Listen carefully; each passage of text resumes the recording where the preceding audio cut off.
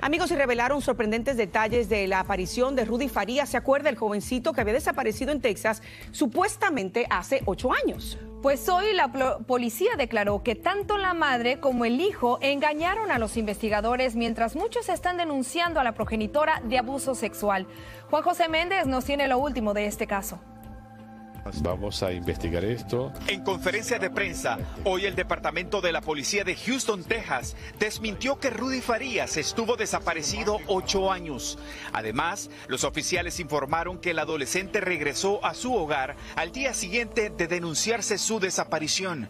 Pero pasaron varios días hasta que la familia diera parte a las autoridades el día 8 de marzo del 2015.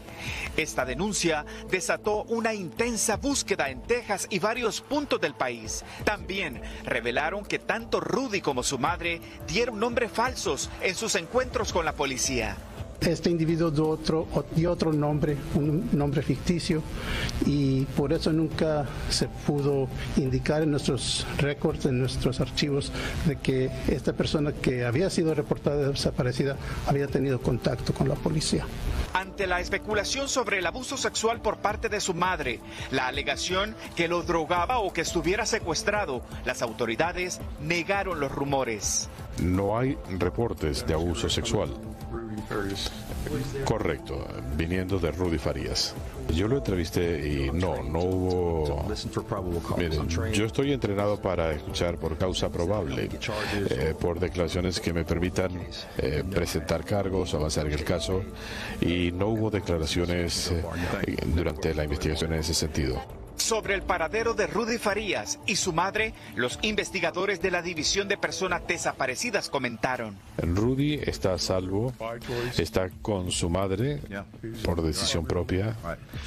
Es un hombre de 25 años. El jefe de la policía de Houston dijo además que es muy pronto para poder determinar si tanto la madre como su hijo padecen problemas mentales. Hasta hoy no se les presentarán cargos criminales. En Los Ángeles, California, Juan José Méndez. Regreso al estudio. Muchísimas gracias, Juanjo. Y obviamente todavía hay muchas preguntas en el aire que ya las autoridades serán encargando de investigar. Y por cierto, que esta investigación continúa activa. No, y otro dato interesante, Jessy, también es que las otras alegaciones que se están dando, porque este caso ha generado todo tipo de hipótesis, van a ser consideradas para por fin darle conclusión a este misterio que hasta el día de hoy, hasta este momento, tiene más preguntas que respuestas.